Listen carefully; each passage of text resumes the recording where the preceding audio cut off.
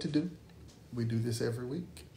Take a moment to release this day to the Lord. Take a moment in spite of what you may have dealt with, what you may have gone through, what you may be going through right now. Take just a moment and breathe. Take a moment and set your focus, your attention, your heart, your mind on Him. You know, it's sometimes challenging if we allow it to be to find time to spend with God, to find time to spend in His presence. But this is your opportunity. Amen. This is your time. Block out everything that's going on around you. If you need to close your eyes, close your eyes. Whatever you need to do. If you need to go to a quiet space, go to a quiet space. But focus your attention for just this moment on the Lord. And now open up your mouth and say something to Him you may have been wanting to pray all day long and just couldn't find the words or couldn't find the time or whatever the case may be, but you have it right now. Open up your mouth and say something to Him. Father, we love you. We bless you. We honor you. We exalt you, Father. We give you glory and praise. We thank you for this opportunity to come together in your presence and to share your word. We thank you, Father, in Jesus' name for this opportunity, Lord, to hear from you. We thank you that right now our ears are tuned to your voice. And we give you praise that you know exactly where we are. You know exactly what we're dealing with. You know exactly what's in store for our future. We ask you, Father, to speak a word to every single person that's watching and listening. Speak a life changing word. Speak a word that will make a difference. Speak a word that will bring healing, that will bring deliverance, that will bring peace, that will bring joy, that will bring victory, that will bring hope.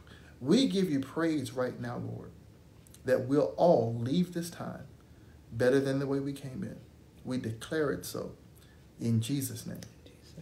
Amen. Amen. Welcome, welcome, welcome. Hey, Veronica. Hey, Veronica. Thank you again for joining us. And now that we're in the room, now that we're coming in the room, take a moment to share with somebody. Take a Amen. moment to invite somebody into this space. We believe that God is going to speak to us. So, Amen. You don't want anybody to be left out of that. Preston, good to see you, sir. Hey, Preston. Amen. So, how are you today? I am doing well. Awesome. How are you? I'm wonderful. It's Monday night. It is Monday night. It's time to rock and roll. Yes. So, I'm sure you've already seen the title. We're talking about what it means to be holy tonight.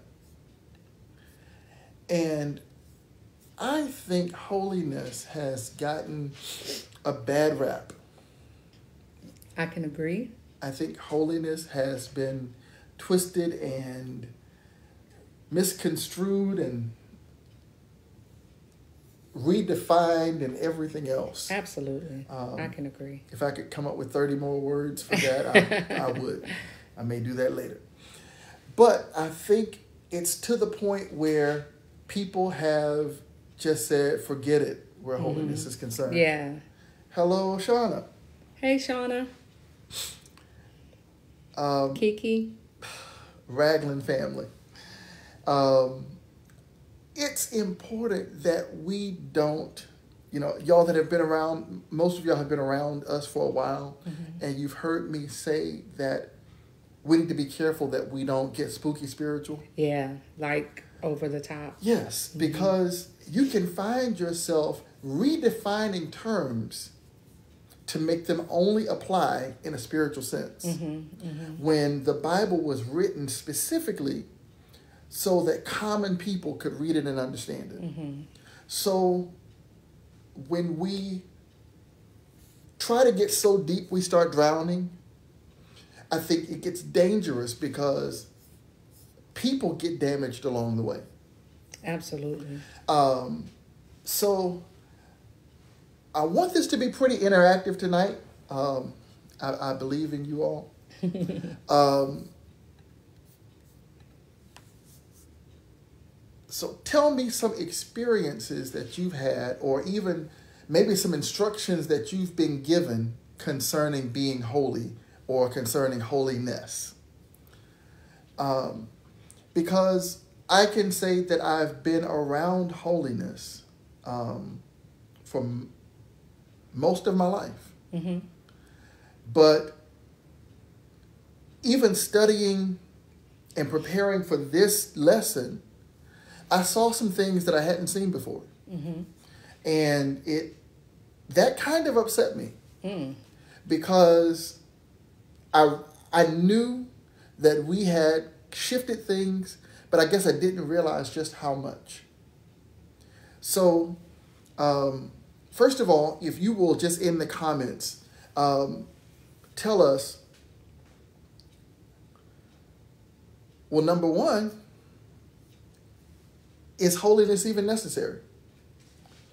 Is um, and, and, and you said that really casually, Mhm. but I'll be willing to say that the majority of people that consider themselves faithful members of churches Mm-hmm. never even consider or think about the word holy or holiness. Well, I think that we need to back up to where you were going the first time. Okay. Is we need to define it first. So, what do we think holiness is? Okay. Well, you tell us. Yeah, just put in the comments just some things that you feel like holiness is, or that you thought at one time what holiness is. I think the way Pastor worded it earlier was um, what were some things that were told to you as it relates to holiness? Um, I will go first. Go for it. I was told very early on in my walk with Christ. Um, I got saved right at the end of my military career. Um, if you want to call it a military career, because I, I really Don't only like did that. one term. But um, it's not like I retired, but You serve. I'm a veteran. That's right. Shout out to the vets. Um, so, one of the things that I was told very early on was that I had to stop wearing makeup and that I needed to not wear pants. Now, this was not in a church that I was necessarily attending, but there were some other Christians that we were around at the mm-hmm. time, and those were some of the things that they said. You know, they were like, "Well, you know, you're not you're not really saved," because I was really excited. You know, when I first got saved, and I was telling people like, "Oh, I accepted Jesus," like you know, especially people that I knew were already Christians. I uh-huh. thought, "Gosh, they're going to be so excited that I finally gave my life to the Lord." Nope. So, and this particular group of friends was like, You are not saved, friend. And I was like, What do you mean? They were like, You wear pants to that church? And I was like, Yeah. They were like, Nope, that's the wrong kind of church. You need to come to our church.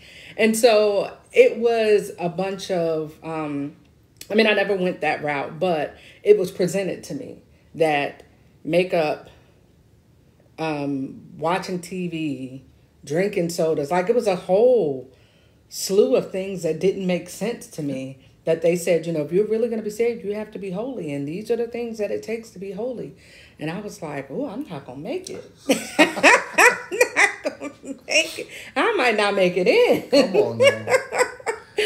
So, um, and Vivian, okay, so we have one person that is commenting like we asked. Thank you, Vivian. I was, she said, I grew up not being able to wear pants. So you are in the same, you know, along the same line. So you probably heard some of those other things that I heard as well, um, because it went beyond the pants thing.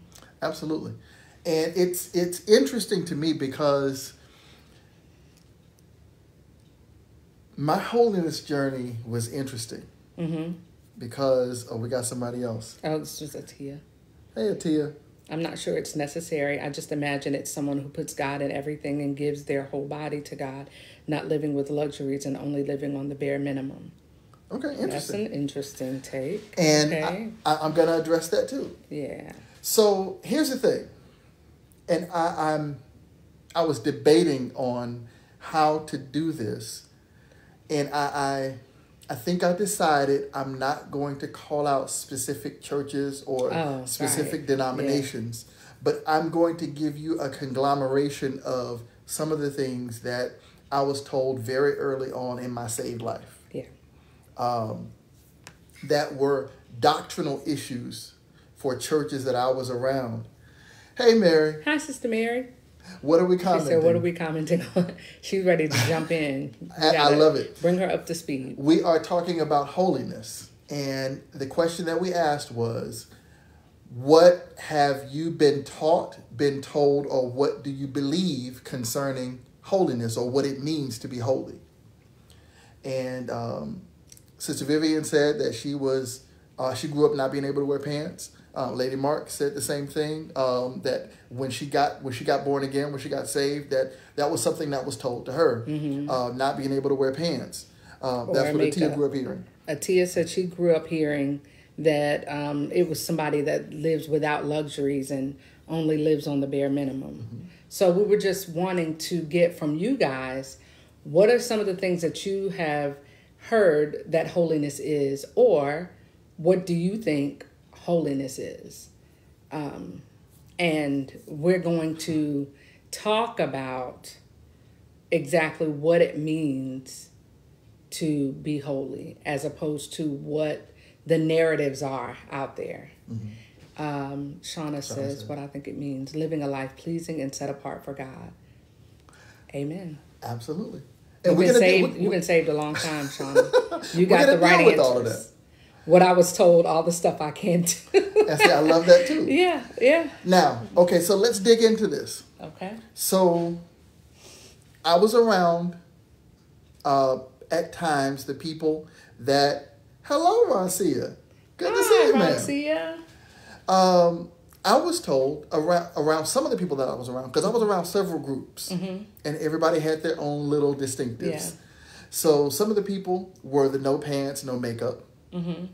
Um, and you know it was it's interesting because it seemed like everybody's majors were on the women. Oh, yeah, for sure. Um, but there was one particular group that focused hard on the men.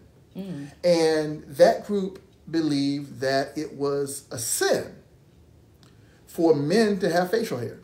hmm I've heard that Um, one too. You you had to be clean shaven for the Lord. um, I'll dig into some of that later. I did not know that. Yeah. Amen. I remember Pastor Smith. Um, good man. He taught having a true relationship with God and giving your life fully to Him. Amen. Amen. and we're going to dig into that too. Um, so we had the people that were, you know, saying that, and I'm going to sum up kind of a bunch of these things that holiness mainly had to do with your attire. Yeah, the outer appearance. Absolutely. Yeah. So, what you wore, how you wore it, um, was a big part. I heard you mention um, also um, that somebody told you that you shouldn't watch television. hmm I heard that too. Um, And makeup. I couldn't wear makeup. I didn't think I was gonna make it in to the kingdom with the. And then they said sodas too. Who can make it in? okay, so now there's a there's another church that's out there that believes that caffeine in any form is a sin. Yeah. Um, so that would do away with your coffee and your soft drinks, uh, for the most part. No cappuccino, Shauna. She has one every morning. That's my sister. Um, so, a lot of these people, let me give some other examples too. Um, there are some groups that believe that it's a sin for a man to cut his hair. Mm-hmm. Um, So wait, you can't shave with one group, Mm-hmm. and then you have to shave with the Absolutely. other. group. Okay. Um, there's a, there's there are people, there are groups out there. Yes, ma'am. So I've heard it, Sister Mary. um, there are groups out there that preached for years that it was a sin to ha- not just watch, but to even own a television. Mm-hmm. I heard that. Um, one group in particular that I was around at times called it a television. Yeah. Um, wow. they that same group also, and now this is this is old, this is very dated, and I would have to believe they're not saying the same thing today. But they also believe that it was a sin to have a telephone. They called it the, the telephone. And now here's the thing. The, the the reason because I haven't given any reasons for any of these yet, but I have to give this one because it's so funny to me. Mm-hmm. The reason they gave for it being wrong to have a telephone is because people use the telephone to gossip. Oh, okay. Now, here's the thing any and everything that you can come up with can be used for the right reason or the wrong reason. Mm-hmm. So, to cancel something out because somebody used it improperly Right. is absolute foolishness. Mm-hmm. But it's easier than teaching people the right way. Mm-hmm. So if you see somebody watching the wrong things on television, mm-hmm. instead of helping them understand what they should watch, just say, get rid of the television. Now you don't have to deal with that anymore. Mm. The problem is with all of this, if you. That's absolutely right, Sean. They might want you to get gossip rid of in that. too. person. Okay. They might want you to get rid of your mouth too. oh, yes. Absolute absolute foolishness. Now, we can also get on some groups that consider holiness. Um, yeah, absolutely, Preston. That's true, Preston. That was a good one. I've heard that one. Playing sports. I even saw some. sin. I even saw some that would have church on all the nights that people would normally play, like football and things like that. They presented it as giving us, yeah, cancel culture is real and it's not new. Mm-hmm. Um, they they presented it as giving people an alternative to having to participate in those things. But are you really going to tell Wow. a child that here are your options? No Friday you can go to the football, football. game or you come to church. No Friday night football. No, no Friday night football. No. um, so even though you since you brought that up, Mm-hmm. there are some that believe holiness is tied to when we worship. Mm, So if you don't worship on a certain day, then you're not holy. okay. Yeah. Um, again, we could spend the, the full hour tonight talking about all the things that people have said, and there are a, a lot more. I mm-hmm. promise you mm-hmm. that some of you probably have never heard of, and it's it's a good thing. But the idea is not that we spend this time making a list of all the things that may or may not be holy. Mm-hmm. The idea is for us, to, for us to understand what holiness is, because I can guarantee you, like I'm stepping into your room right now, that every single one of you have at one time or another in your life debated about whether or not to do something because you wanted to know whether or not it was sin or not. Mm-hmm. Yeah. And that's a problem because we've taught holiness incorrectly. Mm-hmm. So, because we've taught it incorrectly, people have those kinds of questions. Right. Those are questions that believers should never have to deal with. Mm. But because we've been taught to follow rules, That's good. we've been given a list, and that list is ever changing. Mm-hmm. So, we never are really sure what's good and what's not. And maybe it was good yesterday, but it's bad today. And it might be good again tomorrow. so every everything we want to do, we're either running trying to check a list or trying to ask somebody, Mm-hmm. or we just start eliminating so many things from our lives that there's nothing left. Yeah. Now, let me tell you a couple of things that holiness is not. Okay. Holiness is not what it takes to please God. Mm. Okay. We are not holy. We do not live holy. We do not practice holiness in order to please God. Right. Now, I just, somebody You just heard the needle scratch up. on the record. You messing people up with that now. You got to explain. Well, I don't have to explain. The Bible needs to explain. The Bible says without faith, it's impossible to please the Lord. That's good. Not holiness. That's right. So it's your faith that makes you pleasing to God. Mm. Now, somebody will say, Well, I, I just I want to be holy so I can go to heaven. No, that's salvation. that so you just do it and wait for the lightning. Okay. only Veronica. Absolutely. I love it. And some people live like Right. that. Some You people li- you live like live that. like that. Mhm. Um, but holiness is not your salvation. Right. But again, some Mm-hmm. people teach it that way. yeah. So you spend your life living like an Old Testament Christian. Mm. Because that was the thing. Exactly, Sister Mary. At, at, at our best, At our best. That's good. that was the see the thing that the Old Testament saints had a hard time understanding was God did not give them commandments and laws because he wanted them to follow them. Now let me stop right there. I want you to hear what I just said. I want you to let it soak in and I want you to get this. God did not give laws and commandments to the Old Testament saints because he wanted them to follow them or live by them. Mm-hmm. Now, I just threw everybody. That wasn't just a needle scratch. That was taking the record off the player and breaking it. Why did God give the commandments and the laws? I'm glad you asked. God gave the commandments and the laws because he wanted them to see just how inadequate they were on their own without him. Mm-hmm. The reason they spent all those thousands of years trying to live by commandments and laws is because they were stubborn Mm. and stiff necked.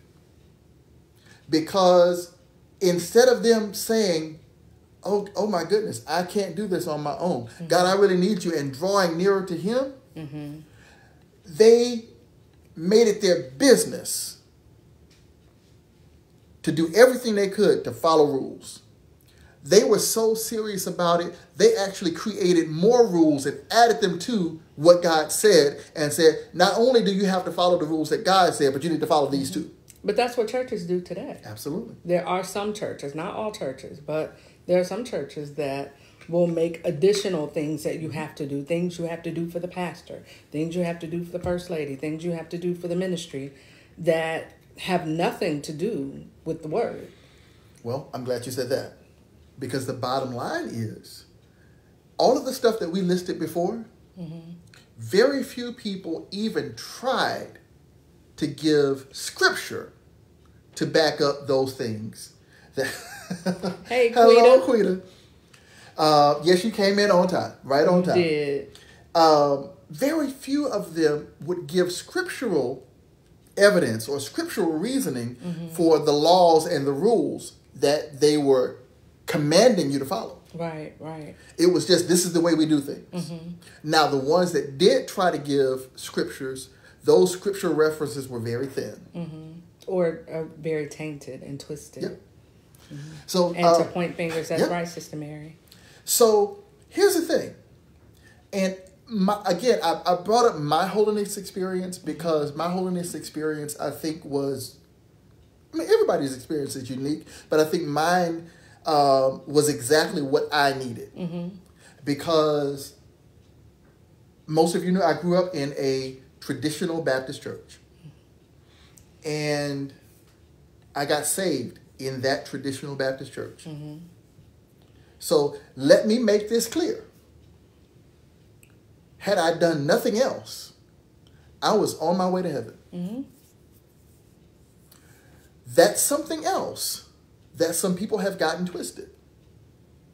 Because we've, I won't say we've, some people have presented Salvation Plus Mm, in order to get you into heaven. okay. Out of context scripture is one of the most dangerous things that exists in the world today. Yes.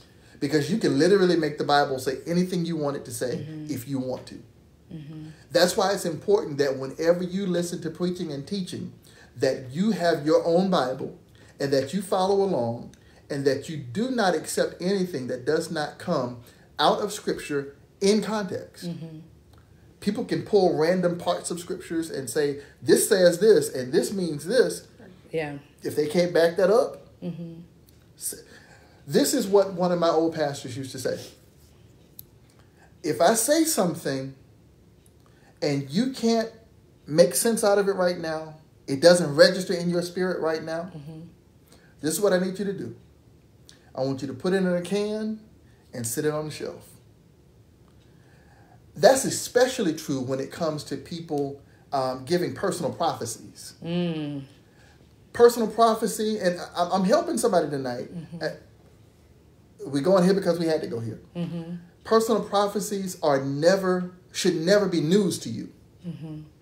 If somebody is, and then the sad thing is, what we call personal prophecy, what we call prophecy, is really word of knowledge. Right. Right. Um, but when when the prophet comes to town and starts speaking cars and marriages and everything else into people's lives, and we fill up tents because you know the prophet is is prophesying good stuff. If the prophet says something to you that you've never heard before, put it in a can and sit it on the shelf. Prophecy should come to confirm mm-hmm. what God has already spoken to you. Mm-hmm. Prophecy does not come to bring new information. right. So now, what, what my pastor used to say was, put it in a can, sit it on the shelf. Every now and then, take the can down and shake it. Did it do anything this time? Okay, if not, put it back on the shelf. It, sometimes we'll get a word from God that's for tomorrow. That's right. Sometimes we'll get a word that's for next year. If we try to apply it right now, it might blow up. We have to understand not only the wisdom of God, but the timing of God. Um, You can't just readily receive everything. yes. Um, and it's so dangerous because people trust the man and woman of God. So when Mm-hmm. And things are yeah, and when things are spoken, um, sometimes as believers we may not necessarily know what's God and what's you. You know, mm-hmm. so when things are coming out, you can't just receive everything. Yeah. You you have to you are responsible for your growth. You're responsible for your spiritual walk. And even though you have people that speak in authority, you still need you're still responsible for knowing the word for yourself. Yes. So if it's something you don't understand, something that you've never heard before, even if it's teaching, you all know that we're we're a Bible teaching ministry. Um, there's not a lot of, you know, fluff, not a lot of hooping, not a lot of all of that going on. We are focused on the word. I'm working but on it. if we, he is not working on it, but if even we teach you something and it's something that you're unfamiliar with, it is your responsibility to study that out. Don't just take our word for it. You get in the word and find out what God has to say to you concerning that thing. Absolutely, one hundred percent. And that's not the first time that you've heard this. If you've been Yeah, around us said any length that of time. multiple times. Absolutely. Um, so, when we get words from God, or when we get instructions from church, Mm-hmm. Our job is to find out what it means. Mm-hmm. Now, I'm not telling you to go to your church and question everything that's going on. Right. I'm working on it, Sean. I'm, I'm just going. I'm bust out on it one day for y'all. Yes, we are Yeah, responsible for knowing the word. Yep. I'm not telling you to go to your church and question everything that's going on and, and start pointing out things. What I am saying is that the Bible says wisdom is the principal thing. Mm-hmm. Therefore, get wisdom, and with all you're getting, get understanding. Mm-hmm. So we have to get understanding and not just follow blindly. Mm-hmm. Now, let's get into some Bible since we're talking about Bible because we want you to understand what holiness is and what it's not. Okay. So we have a scripture um, that's about to be on the screen. And it is Leviticus chapter 11, verse 44. And it reads this way For I am the Lord your God. Ye shall therefore sanctify yourselves, and ye shall be holy. For I am holy. Neither shall ye defile yourselves with any manner of creeping thing that creepeth upon the earth. Let me read that one more time. For I am the Lord your God. Ye shall therefore sanctify yourselves, and ye shall be holy, for I am holy. Neither shall ye defile yourselves with any manner of creeping thing that creepeth upon the earth. Now, what I wanted you to see in this particular verse of scripture, first of all, God commands us to be holy. Mm-hmm. The second thing is, He says that He is holy. So God is not asking us to do anything that He's not already doing Himself. Right. But the other thing I want you to see from this particular scripture, and this is consistent throughout the Bible, God never asks, requests, or require that we live holy. Mm, there's a difference.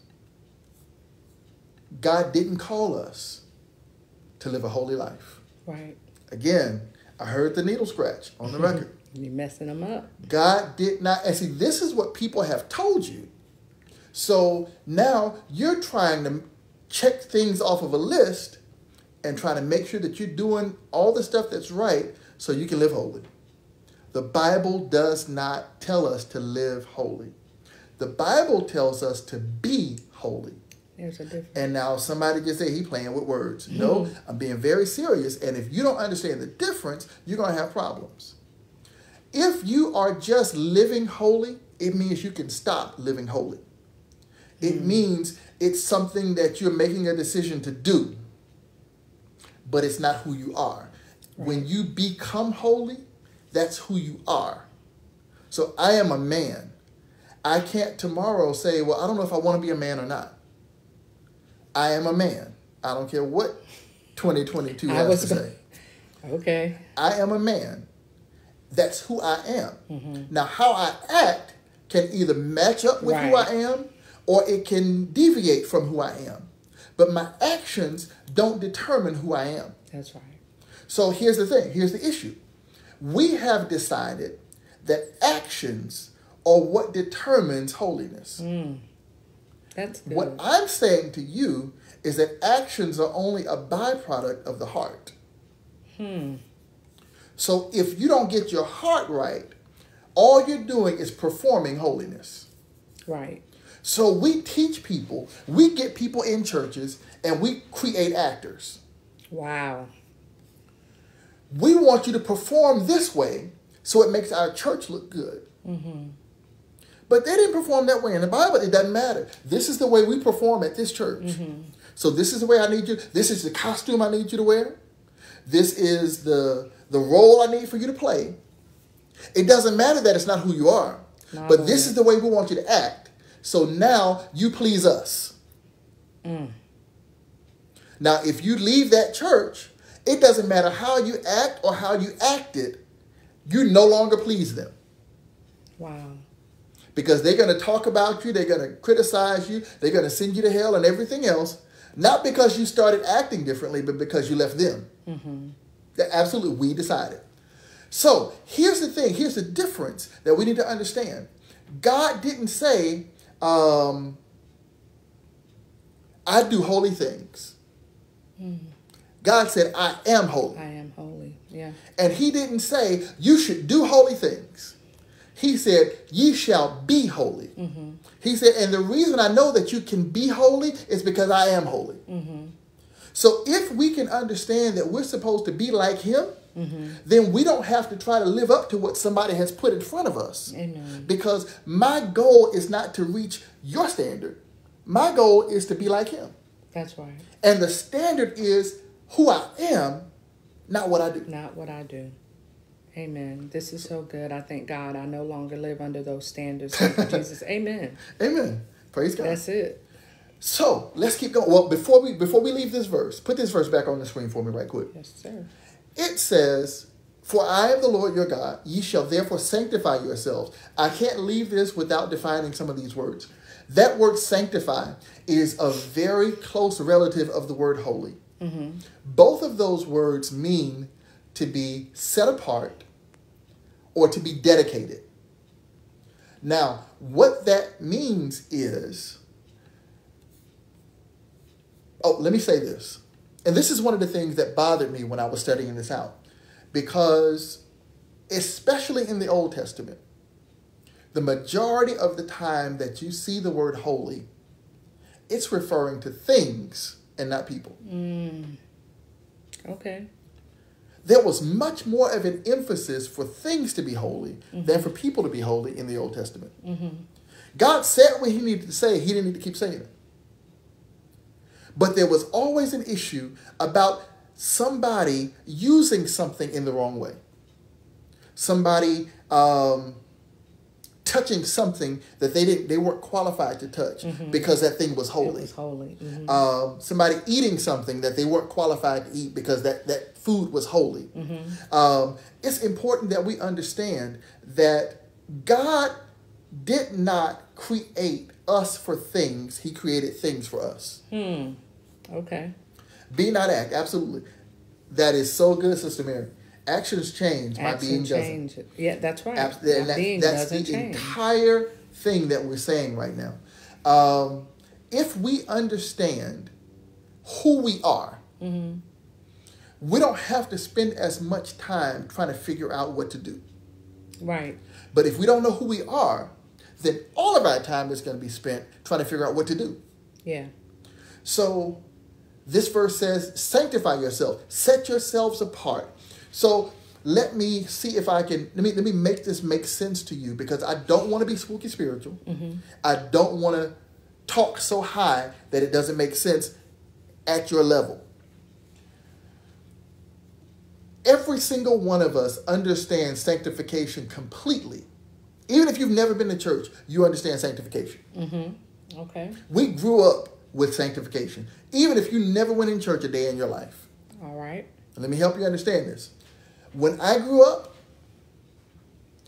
I had certain clothes that I could not go outside and play in. I had church clothes that were for dress up time. Mm-hmm. If I went to church and came home from church, I didn't stay out in the yard and play football in my suit. Mm. You go in the house and you take those clothes off and put on some play clothes right. if you want to go outside and play. Mm-hmm. All that was was sanctification. Those clothes were set aside for church. Hmm, that's a good analogy. My other clothes were set aside for other things. Mm-hmm. The same way, now things have changed to in 2022. Mm-hmm. But by the same standard, I wouldn't wear my play clothes to church, although people do now. Mm-hmm. But because those clothes were set aside for play. Mm-hmm. So those clothes, there, there wasn't a time that I said, oh, let me mix and match my play clothes and my church clothes. and you know your parents are watching. They would not have Absolutely. so I was being taught sanctification from as far back as I can remember. Right and the Bible wasn't even necessary. Hmm. So it. if you understand what if you understand what I just said, then you don't have a problem with sanctification. You have a problem with what people are asking you to do for sanctification. Mm. Okay. So absolutely, definitely don't play in the church shoes, right?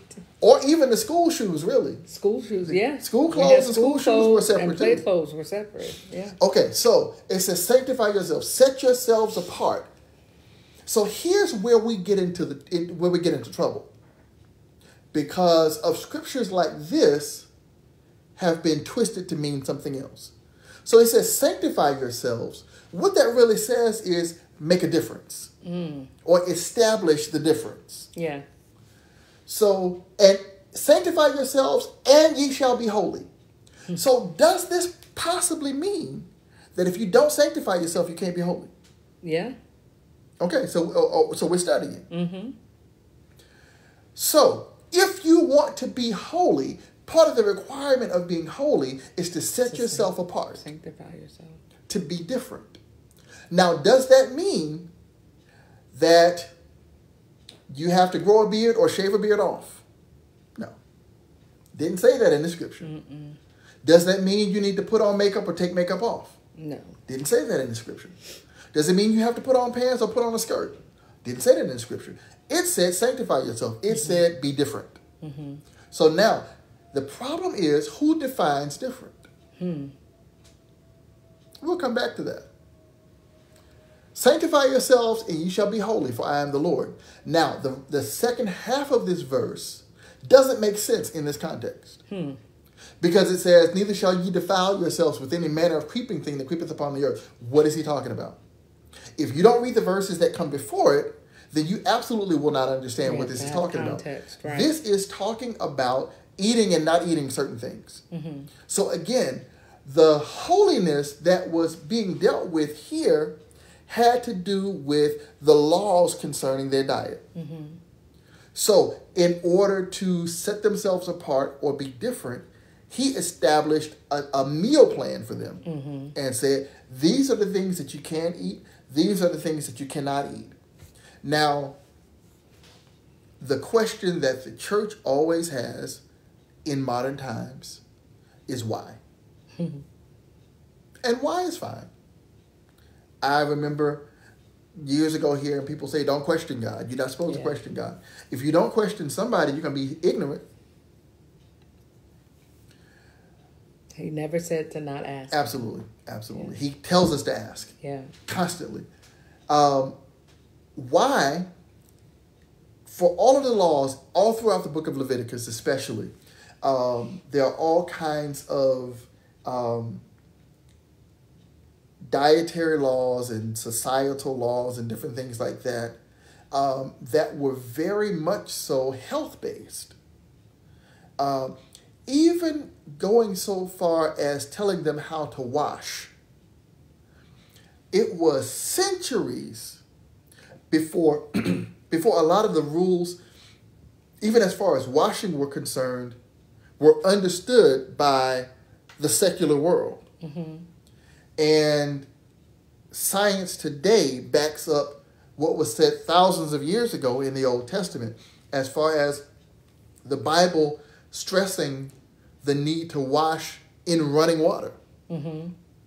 The way people washed during that time outside of this was in still water. Mm-hmm. So they'd get a pot or a, vessel of water and they'd wash that way. Mm-hmm. But there's something that adds to the cleaning power if the water is running and not mm-hmm. just not just soaking in filth. Mm-hmm. So um, that's what that verse is talking about. Let's go to another one. It pretty much doesn't matter which one. That one's fine. Um, and actually, this one follows up what we just read. Um, 1 Peter 1.16 says, Because it is written, Be holy, for I am holy. Where is it written? Where we just read in Leviticus. In Leviticus. That's why I put this one here, because I started to just use this one, but I wanted you to see that it really is written and you can find it. Mm-hmm. All right, let's go to the next one. Ezekiel chapter 44, chapter 44, verse 23 says, And they shall teach my people the difference between the holy and profane, and cause them to discern between the unclean and the clean. Now, there's so much in this verse, but I want to point out one word first. Oh gosh, I can't just do one. Okay. Every word in this verse is, is, is special to me. Um, first word I want to point out is difference, the difference. And we mentioned this earlier. There should be a difference between holy and unholy, or holy and profane. Um, sometimes we can blur lines and not um, act like we don't understand that there should be differences.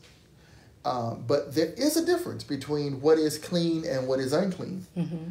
And it says, They shall teach my people the difference between holy and, and profane and cause them, this is the other word I want you to get, cause them to discern mm. between the unclean and the clean. It's not enough for somebody to just teach you what to do and what not to do. Right. If you don't progress to the point where you can discern, mm-hmm. then the teaching is invalid. Right. But so many times we only want to take the first half of this verse. Mm-hmm. So you have to constantly come back to me to find out can I do this? Can I not do mm-hmm. this?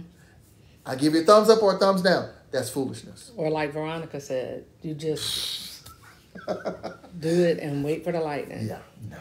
We're not going to live like that. If we understand that my job as a pastor, our job as teachers, is to build you to the point where you don't need us. Mm-hmm. And I, I, I, you understand what I mean when I say that. Mm-hmm. Um, you need to be able to not only reach God for yourself, but you need to be able to make decisions for yourself. You need to be able to discern for yourself without having to always get instruction from somebody else, without always having to get guidance from somebody else. Um, they shall teach my people the difference between holy and profane, and cause them to discern between the unclean and the clean. Again, God is looking for, I won't even say that. God requires holiness, He does. but holiness has to come from the inside out to mm-hmm. be the holiness that God is calling Right. for. We have more scripture. Going back to Leviticus. Leviticus 10:10. And that ye may put difference between holy and unholy, and between unclean and clean. Again, establishing the difference. Now, how do I determine what's holy and what's unholy? How do I determine what's unclean and what's clean? Well, first of all, if you don't know, if you're unsure, first place to go is Scripture. What does the Bible have to say about this thing? Most of the time, that can be the end of the conversation. Mm-hmm. What does the Bible What have to say about say? it? What does the Word say? And then I act based on what the Word says. Mm-hmm. Not hard. Mm-hmm. So if I'm trying to decide whether or not it's okay for me to murder somebody, what does the Bible say? Thou shalt not kill. Now, people have twisted and confused that scripture because I've heard people try to completely negate the Bible because of that one verse, thou shalt not kill. Mm. Because they say, well, the Bible said thou shalt not kill, but what about all these wars in the Bible Mm-hmm. and people killing people? That word kill there is to mean means to take life without a cause. Mm. It's literally murder. Mm-hmm. So um, try something else. Um, but if we just look at what the Bible has to say about whatever the thing is that we're trying to figure out whether or not we should do, the majority of the time, we can stop right there because the Bible has something to say concerning. Um, if you're wondering, should I marry this unsaved man or this unsaved woman? But I love he. what does the Bible say? The Bible says, do not be unequally yoked with unbelievers. Uh, and the Bible says a lot more concerning marriage. But if you don't understand that marriage is more than just how you feel about somebody, Right. then you'll find, well, that's why the overwhelming majority of marriages today end in divorce. Mm. Because people get married based on a feeling. Mm-hmm. People get married based on, I like her, I like him. He's cute, she's cute. And that's all you know. You don't know anything about that person's heart, don't know Yeah. anything about that person's spirit. You just know how, how they make you feel at the moment. Right. And the thing is, they make you feel good at the moment, and then two moments later, you hate them. Mm-hmm. So, um, Sister Mary said, if we worship in spirit and in truth, your spirit must be holding not the flesh and actions. Now, okay, let, let's deal with that since you brought that up. Because something else that I noticed in especially Old Testament, the majority of the time that the word holiness was used, it was directly connected to worship. Mm. Uh, the Bible several times talked about us um, worshiping in the beauty of holiness. Um, again, there aren't a lot of times when the Bible talks about people specifically being holy, especially the Old Testament. Um, it talked about holy garments, Mm-hmm. talked about uh, you know holy um, dishes and things in the temple and different things, like Things. that. Mhm. Talked about holy land. Mm. Talked about um, you know holy furniture. I mean, literally, all, a holy mountain. All these kinds of things. Um, and it was so the people understood. Um,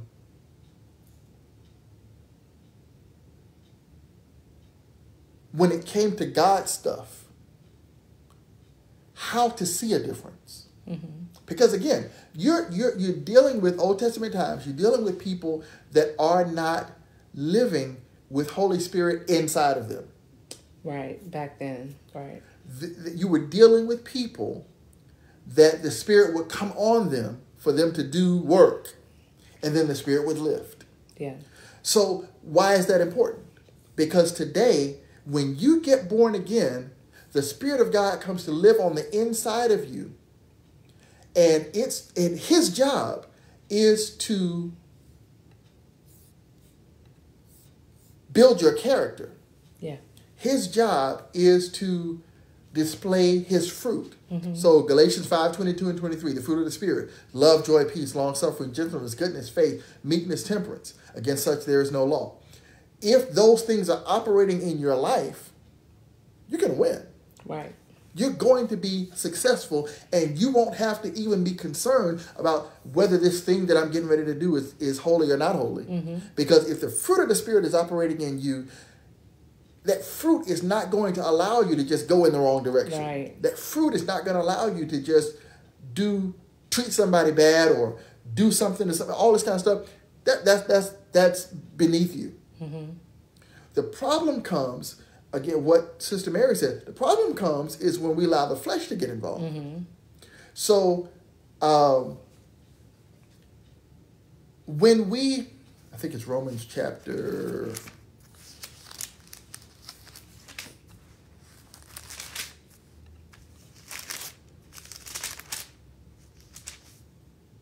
Romans chapter 8, verse 1. This one won't be on the screen.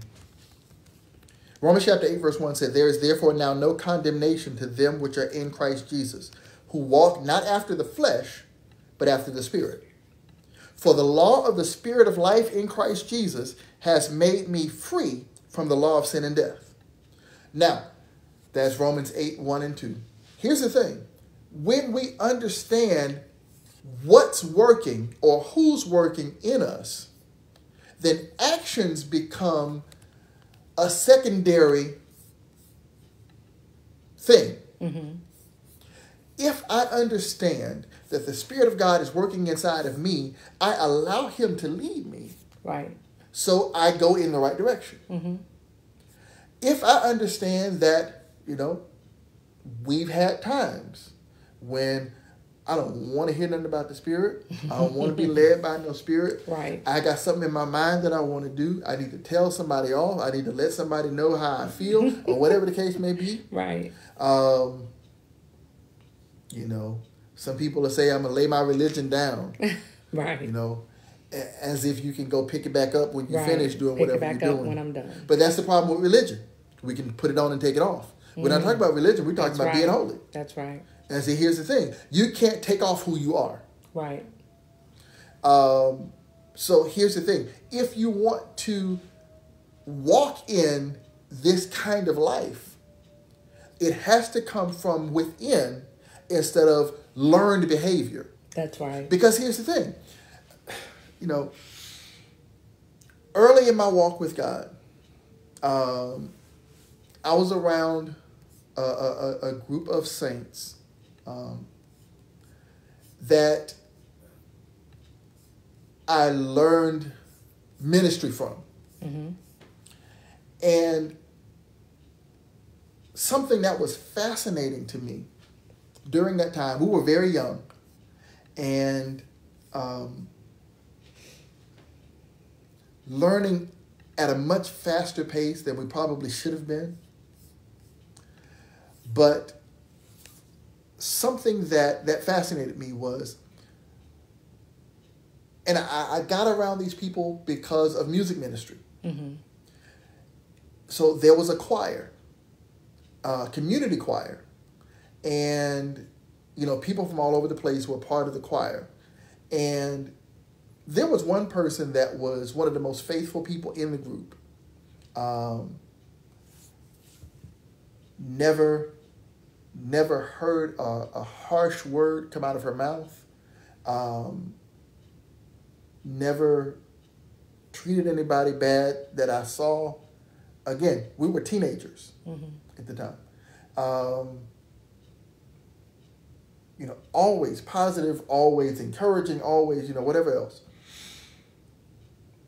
And I found out after quite some time being around that ministry that this particular person wasn't even saved, Hmm. had not given her life to the Lord. She was a good person, Mm-hmm. but being a good person is not enough. Right. And I had the opportunity to be there when she did get saved. Praise so, um, you know, that was a blessing because Yeah. I, I just think we all just assumed that she was That she saved was. because she acted saved. Mm-hmm. She acted like us. Well, she acted like what people thought you should Exactly. be when you're a Christian. Exactly. And the thing is, you can follow all the rules that somebody can come up with and still go to hell. Mm. You know, I, I, I said that nicer than the way we used to say it. You know, you can you can follow all the rules and bust hell wide open. Mm-hmm. If you don't do the inside part, That's right. if all you have is a costume, Mm. you can play a role and you can fool almost everybody. But the costume has to come off. Mm-hmm. And, you know, thinking about a costume, because one of the things that I saw dealing with holiness, especially in the Old Testament, was there was a lot of talk about holy garments. Mm-hmm. You know, the priests, the Levites, had certain clothes that they had to wear when they were going to minister. Right. Th- There was their holy garments, and they couldn't just they couldn't wear just anything when they were going to, to do ministry, and they weren't just wearing those clothes just for anything. Right. Um, but there was a situation that happened in the, in, in the Old Testament regarding um, some holy garments, and it was Moses got married,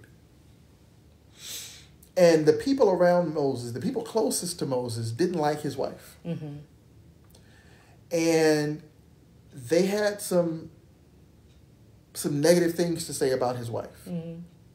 Two of the people in particular were Miriam, his sister, and Aaron, Mm-hmm. his first assistant. Mm-hmm. Um, and they talked negatively about Moses' wife, and immediately Miriam was stricken with leprosy. Mm-hmm. Leprosy was a disease that caused your skin to turn white. That uh, now here this was the issue that, that they had with Moses' wife. Moses married a black woman, Mm-hmm. and they had a problem with her being black. So God said, "Okay, fine. You got a problem with black? I'm gonna turn you all the way white." That's what happened to Mm. Miriam. She got leprosy. Skin turned completely white, not white like people white, Like swords. white like right. crayon white. Yeah. so Moses had to pray for her so she could be healed of the leprosy. That all happened in, in a few moments. Mm-hmm. Nothing happened to Aaron. They were both talking about his wife. Mm-hmm. Nothing happened to Aaron. That story bothered me. well, why did it why did it get her but not him? Well, you had to keep reading. Mm-hmm. Years later, Mm-hmm.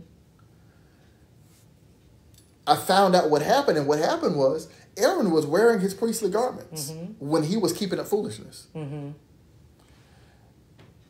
The priestly garments protected him, covered him, so he didn't get the judgment that Miriam got Mm-hmm. At the time. at the time. Now, here's why this is important. We all wear a garment today as believers. Mm-hmm. not a physical garment. Um, but here's the thing that garment that he was wearing back in the Old Testament times was a foreshadowing of grace. Mm. What is grace? Grace is not a license to sin. Grace is an opportunity for you to get it right. So he had an opportunity to repent, to get it right. He chose not to. So years later, when he took off the priestly garment, he fell dead. Immediately. Miriam got sick. Moses was able to pray for her and she got healed.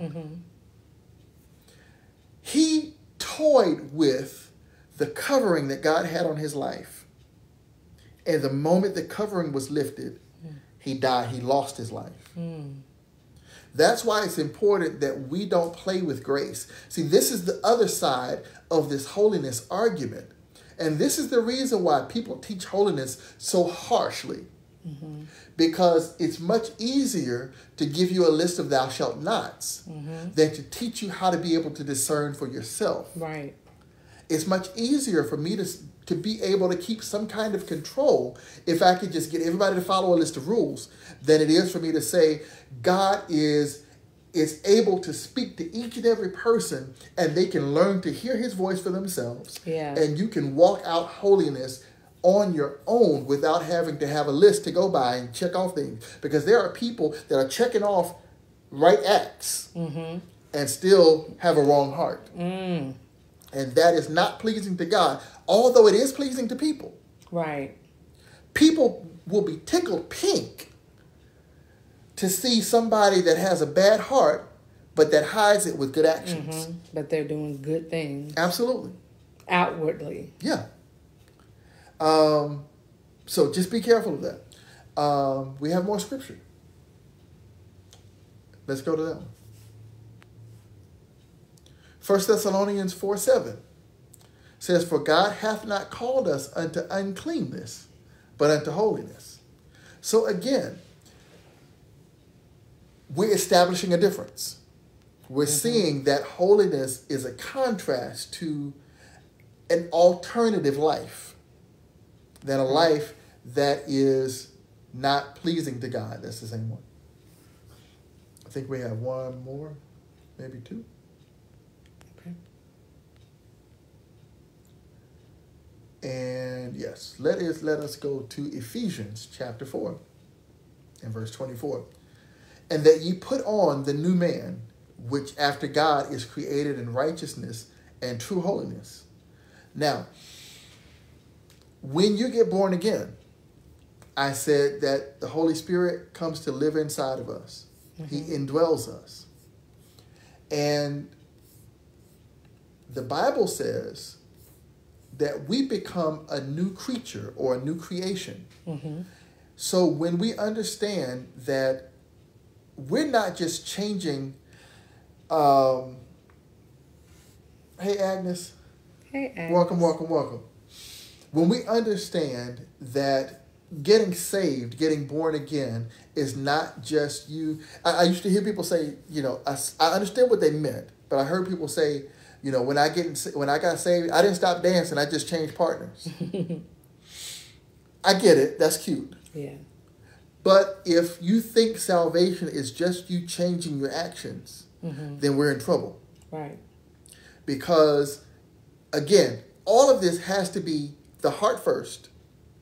And then what's in the heart. The Bible says, out of the abundance of the heart, the mouth speaketh. Mm-hmm. So if we get the heart right, and the first step to getting the heart right is understanding that you can't do it by yourself. So if we allow God to come in, change the heart.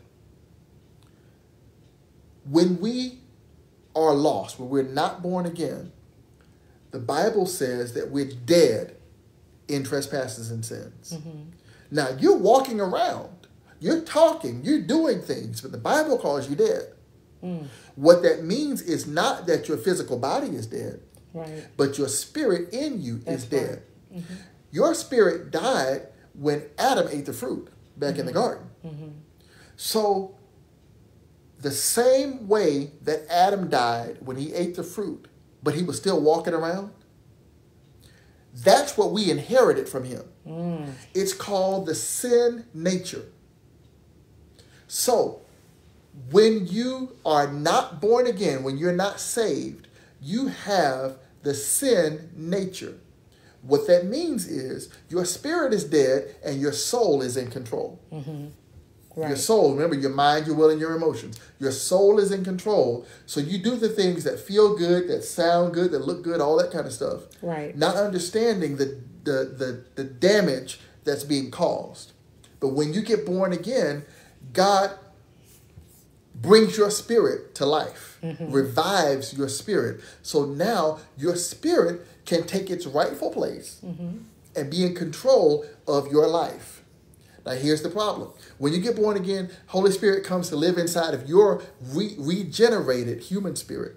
Now, here's the issue your spirit is like a newborn baby when you get when you first get born again. Yeah. Your soul has been running the show for years and decades, Yeah. depending on how old you are when you get saved. So now all of a sudden you have a, a baby spirit that's trying to tell a grown soul what to do. Mm. It doesn't always go well. So this, my friends, is why churches come up with a bunch of rules and say, "Hey, follow these rules because you don't know what to do." Yeah. To try to force you on track. Absolutely. Here's the thing though. We can give you rules all day long. But again, we're looking for more than just actions, we're looking for a heart change. So here's what has to take place. And it looks like we may have to do part two. I'm trying to finish this. Um, here's what has to take place. You have to feed your spirit the word of God to build your spirit up. So now your spirit can speak, your spirit can command with authority, and your soul has to listen. Yeah. Now, here's the thing you feed your spirit, you starve your soul. How do you do that? You feed your spirit by reading the word, by spending time in prayer, by worship, by spending time in the presence of God. Those things build up your spirit. Well, how do you starve your soul? Every time you do those things and you obey God, you're actually taking strength away from your soul because the soul wants to do the wrong things. That's why the Bible talks about uh, it's Paul that talks about um, he had a war within his members. You know, the spirit warring against the soul, trying to figure out who's going to have control. The, the holiness battle is not a battle of what outfit I need to put on or um, whether or not I should do this certain thing. The holiness battle is who's in control of your life, the spirit or the soul. Mm. Because if you are spirit driven, spirit led, mm. then holiness is going to come natural to you. Mm-hmm. If you are fleshly led and driven, that means the soul is in control, then you may be able to fake some acts every now and then, or even have some learned behavior that lines up with somebody's church doctrine. But in the end, it's not who you are. Right. So it never really sticks. Uh, is this the last scripture that we have? It is. Okay, go ahead and put that one on the screen. I love this scripture. And we can close here. Um, Hebrews 12 14 says, Follow peace with all men and holiness, without which no man shall see the Lord. Now, if we understand Hebrews chapter 12, mm-hmm. if we understand that God has a desire for us to walk like Him, to be like Him, which is holy, then we'll understand that every request or every command that God gives is for our good. Right. So when He says follow peace, it's not always easy to follow peace Mm-mm. because peace is fine when people want to be peaceful. Right. But when people want to act a fool and and you know cause all kind of ruckus in your life, Yeah. it's it's, not hard to. Mm-hmm. follow peace. But if we understand, so we need to put some things on on automatic. You know, we need to talk about money. We're going to do that. We have to do that soon. And I'm going to give you a tip. One of the things that I recommend dealing with finances is to put as many things as you can, as far as your bills are concerned, on auto pay. Right. Because a lot of people lose money paying late charges and all those kinds of That's things right. because you knew you were supposed to pay it, but you forgot and something else came up and You all this kind of pay stuff. it anyway. Just pay it on time. Make it automatic. Even your savings should be on auto pay. Mm-hmm. You should pay yourself automatically because it's easy to forget to save. Mm-hmm. But if you have it automatically done, it's gonna it's gonna happen whether you think about it or not. right. That's the way things should be when it comes to us obeying God. If I go into a situation understanding that my job is to follow peace, if I go into a situation understanding that I have a covenant of peace, then even if the thought comes up to respond the way somebody's dealing with me, mm-hmm. I'm reminded of my covenant. I'm Right. reminded of my responsibility for peace. It says, follow peace with all men. That means no matter what they're doing, how they're treating you, your job is to follow peace and holiness, without which no man shall see the Lord. If you want to see God, you got to be holy. Right. Now, again, the Bible tells us that in the end, that every knee is going to bow, every tongue is going to confess Right. that Jesus is Lord. So that means the saved and the lost are going to see him. That's right. So what is the scripture talking about? It says, without holiness, no man shall see the Lord. But then we know that everybody's going to see him in judgment. So now, remember talking about the kingdom of God, how the Bible talked about how um, that you had to, to walk a certain way and do certain things in order to, to see the kingdom of God? It deals with perception. It deals with how we see not with our physical eyes, mm-hmm. but how we understand something. So it's not talking about in the end, in judgment, you're going to see God. Right. But the goal is for you to see and understand God in his ways every day. Right now. So holiness allows you to see God in the middle of your situation. Mm-hmm. Holiness allows you to understand and experience God's way even when it doesn't make sense. Right. So let me say this and, and we're going to end. The goal, the thing that we're shooting for, is to be like Him, to be holy. Amen. And the way to get there is to allow Him to do the work. Mm-hmm. Now, here's the thing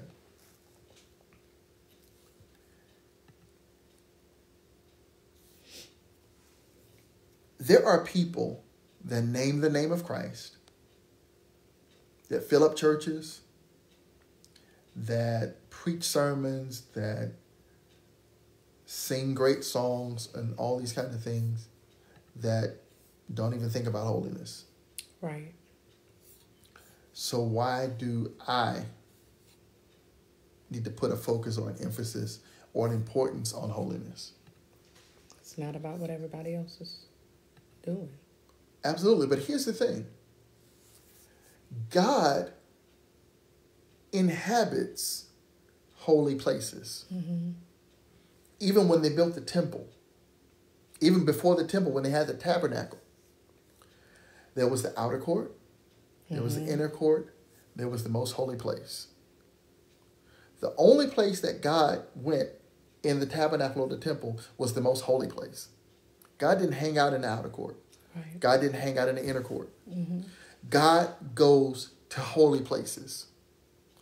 That's why the Bible tells us that your body is the temple of the living God. Your body needs to be holy because you want God to abide there. You want God to be there. So here's the thing the more places that you can establish holiness, mm-hmm. the more places you can experience God.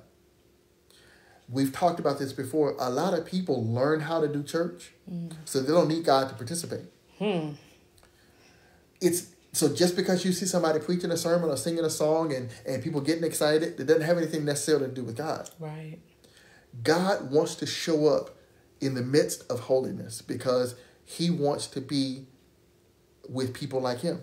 Right. So holiness is not so you can reach some level in some organization. Holiness is so you can be with him. Amen. So our time is way up. Thank y'all for spending an extra 15 minutes with us tonight. We love you. We appreciate you. Hey, mom and dad. Hey, mom and dad. I hope this at least sparks a conversation in your life to consider holiness and not the performances that people have tried to put on you, but a heart toward God Amen. that makes your decisions for you, a heart that keeps you from going the wrong direction or doing the wrong things. Not a rule, but a heart. Amen. Do you have anything else, Lady Marks? I do not. I think we've talked enough. so until next time, We, love, you to life. Good night, everybody.